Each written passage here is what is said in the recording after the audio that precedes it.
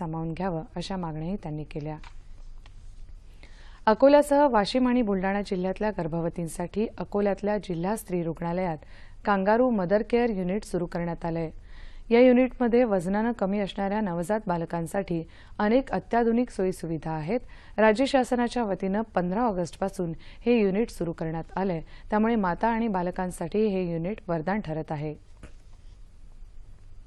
मानधनवाढीसह विविध प्रलंबित प्रश्नांसाठी गेल्या वीस दिवसांपासून अंगणवाडी कर्मचाऱ्यांनी आंदोलन पुकारले.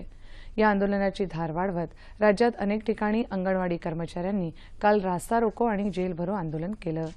अंगणवाडी सेविका आणि मदतनीसांना थकीत मानधन द्यावं सरकारी सेवेत सामावून घ्यावं पोषण आहाराची रक्कम वाढवून द्यावी अशा विविध मागण्यांसाठी अकरा सप्टेंबरपासून राज्यभरातले दोन लाख अंगणवाडी कर्मचारी संपावर आहेत.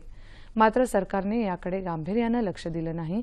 तसंच महिला आणि बालविकास मंत्री पंकजा मुंडे यांनी देऊ केलेली मानधनवाढ मान्य नाही असं अंगणवाडी कार्यकर्त्यांनी म्हटलंय. रत्नागिरी जिल्ह्यातही अंगणवाडी सेविकांनी जेलभरो आंदोलन करत स्वतःला अटक करून घेतली. सुमारे पाच हजार अंगणवाडी सेविकांना यावेळी अटक करण्यात आली. नागपुरातही संविधान चौकात अंगणवाडी कर्मचाऱ्यांनी रास्ता रोको आंदोलन केलं. या आंदोलनामुळे काही काळासाठी संपूर्ण वाहतूक व्यवस्था विस्कळीत झाली होती. अंगणवाडी सेविकांनी सरकारविरोधात घोषणा दिल्या. यावेळी अनेक कार्यकर्त्यांना अटक